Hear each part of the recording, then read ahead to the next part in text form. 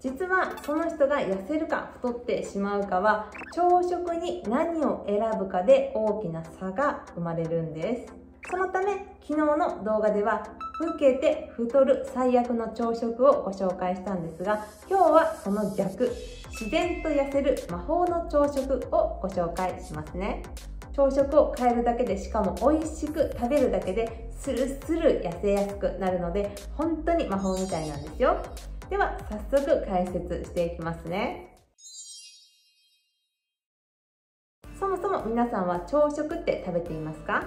時間がないから食べていない。朝は食欲がないから食べられない。という方だけではなくダイエットのためにあえて食べていない。という方もいらっしゃるのではないでしょうか？私もそうでした。しかしこれはダイエット的にはむしろ逆効果。なぜならダイエット成功の鍵は朝食だからです。というのも朝食を食べるという行為自体が体に熱を生み出して代謝を高めるので痩せやすい状態っていうのを作り出してくれるんですね。つまり食べた方が痩せやすくなるというわけです。これは食事誘導性熱産生という代謝による効果。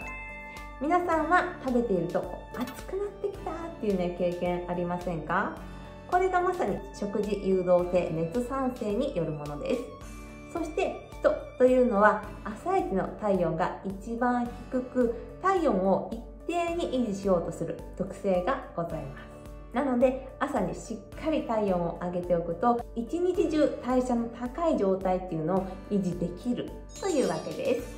加えて朝食をとることがダイエットにおいて重要な理由は他にもあってそれは自律神経が関係しています。自律神経には交感神経と副交感神経の2種類があって活動モードの時は交感神経が優位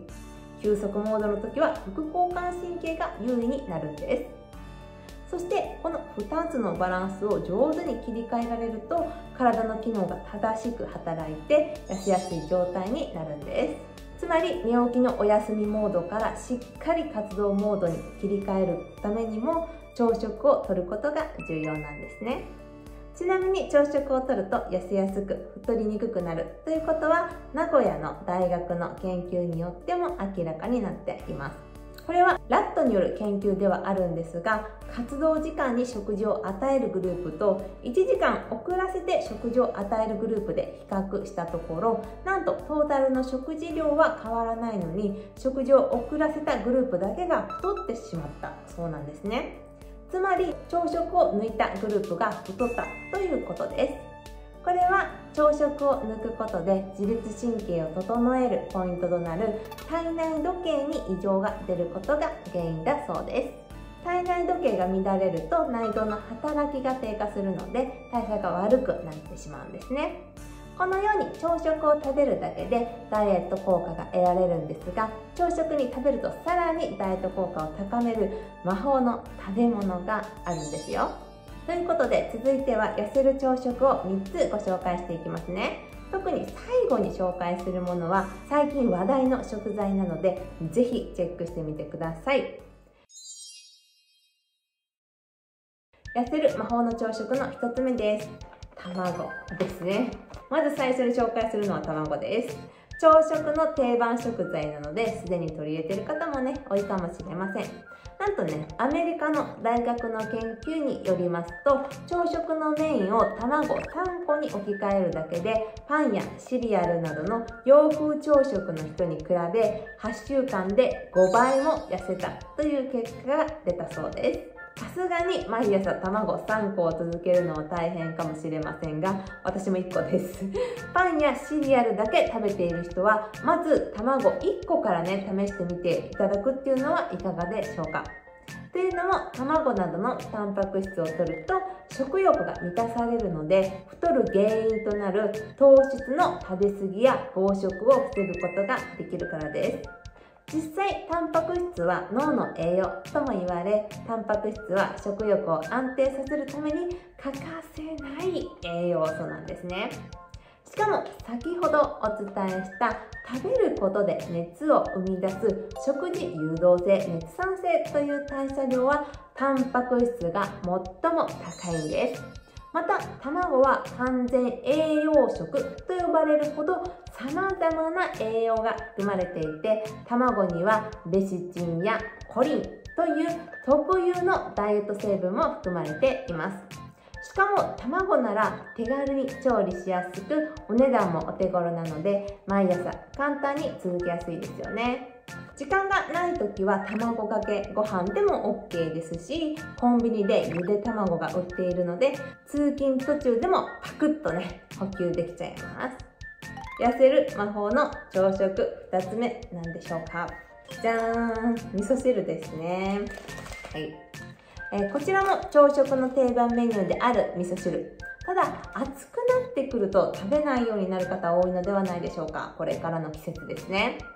しかし、ダイエットのために毎朝味噌汁を飲むことがおすすめです。なぜなら朝に温かい味噌汁を取り入れることで温活効果によって体温が高まったりデトックス力や胃腸の消化力っていうのが良くなるので自然と痩せやすくなるからで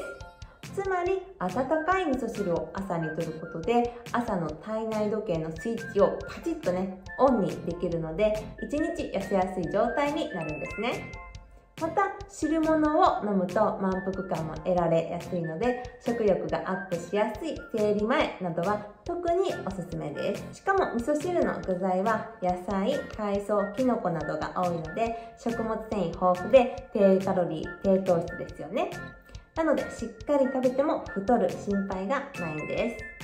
こうしてたくさんの具を加えればより豊富な栄養が取れてより満腹感もアップします。さらに、えー、ここにですね豆腐とかね先ほどの卵などのタンパク質もプラスしてしまえばより代謝アップ効果が高まりますよ。インスタントの時はねこのタニタ食堂の味噌汁を取ることが多いです。では最後3つ目ですね。痩せる魔法の朝食3つ目はココアです。一昔前体にいいと話題になったココア。最近もね高カカオチョコレートが人気で再ブームがね到来していますよね。実はかの有名なハーバード大学がカカオを朝に取り入れると太らないという研究結果を、ね、発表したそうですよ。しかも太らないどころかかえってウエストのサイズがダウンして脂質の燃焼がアップしたという研究結果まで出ちゃったそうです。なぜカカオにこのような効果があるのかというとカカオには代謝アップに効果的なポリフェノールが豊富だからです。かもカカオには食物繊維も豊富なので血糖値の上昇を抑える効果やデトックス力を高める効果まであるんですよ。また時間栄養学の研究によりますと夜より朝の方が食事によるカロリー消費量が2倍も増えることが分かったそうです。つまり朝にココアを飲んでおくだけでもカロリーが燃えやすくなるんですね。これおすすめです。純ココアです。もちろんココアはこういったね無糖のものがおすすめですよ。飲みにくい場合は蜂蜜とか血糖値を上げないエリスリトーンなどの甘味料。あと豆乳や牛乳などを少しプラスしても OK です。ちなみに高カカオチョコではダメなのかとね思った方もいらっしゃるかもしれませんが市販のものは砂糖や添加物が入っているものが多いのでできれば純ココアに自分で甘味料を加えるとよりダイエットには効果的です。また高カカオチョコの場合はこうした写真にありますようにカカオ70%以上のものがおすすめです。ちなみに高カカオチョコのダイエット効果や取り入れ方についてはこちらの動画で詳しくご紹介しているので概要欄から参考にしてみてください。チョコレートなのに痩せる最強レシピ大公開という動画です。他にも私の食べて痩せる食事法をね3ステップで学んでね実践してみたいわという方は私の無料公式 LINE がおすすめです。概要欄からお友達追加してあなたのダイエットにお役立てください。レシピなどいろいろプレゼント中です。ではチャンネル登録高評価どうぞよろしくお願いします。食事からビューティー保健師の松田理恵でした。じゃあね。バイバーイ。